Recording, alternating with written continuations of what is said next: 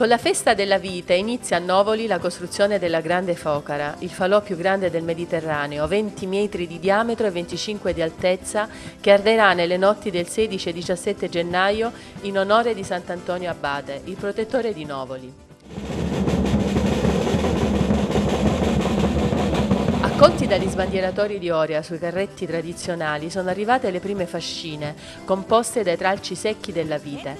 Ne servono 80.000 e provengono dalle immense distese di vigneti nelle terre del Negro Amaro, dove la DOP più famosa è quella del vino Salice Salentino. Il Parco del Negro Amaro aveva eh, l'idea e l'obiettivo di far riconoscere diciamo, l'identità di un'area più vasta che eh, sta nei territori del, diciamo, del cuore tra Brindisi, Lecce e Taranto e poi il simbolo della Focara che poteva esprimere questa potenza delle risorse socio-economiche e culturali del luogo. I volontari costruiscono questa grande pira utilizzando tecniche che vengono tramandate di padre in figlio. Da quanti anni costruisci la focara? Questa è la trentesima. Quando iniziano i primi di novembre dentro di me mi prende una cosa che è indescrivibile, quindi ci devo esserci per forza. Perché lo fai? Eh, lo faccio perché eh, mi piace e poi sono, sono devoto a Sant'Antonio. Che cosa ti dà in cambio lui? Forza e salute. Nel segno della tradizione e dell'innovazione ogni anno la Focara viene interpretata da artisti internazionali e quest'anno è la volta di Yannis Cunellis.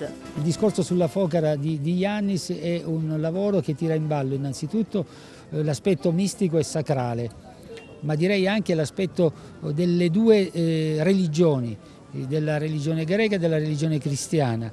Eh, lui ha lavorato sulla croce greca, lavorerà sulla croce cristiana e cattolica e ovviamente sull'operazione delle pietre, delle fascine, della naturalità delle cose, quasi a far capire come rinsaldandosi nei confronti della storia e della tradizione si possa solamente in quella maniera guardare in avanti. Ma gli effetti speciali non sono finiti qui. Ci sarà Don Pasta con una sua performance che trasformerà un momento prima dell'accensione la focara in un grande schermo proiettando immagini tali che apparirà che la Focara racconti di se stessa e del popolo che la costruisce. Infine intorno al fuoco si balla e la Focara fa proposte sempre più giovani. Approfittando di un uh, DJ molto, molto famoso ormai, uno dei DJ più, più importanti in Europa e nel mondo, Giolimare, che, che è di Novoli, ha le sue radici qui a Novoli, un novolese doc, eh, che vive il paese, vive la festa, anzi ci abita proprio, proprio vicinissimo.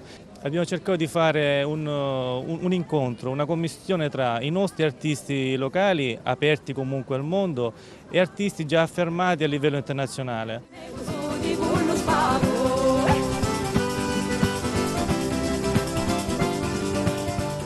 Ma guai a lasciare Novoli senza aver prima degustato il piatto tipico che tutti i novolesi preparano nelle loro case il 17 gennaio invitando amici e parenti.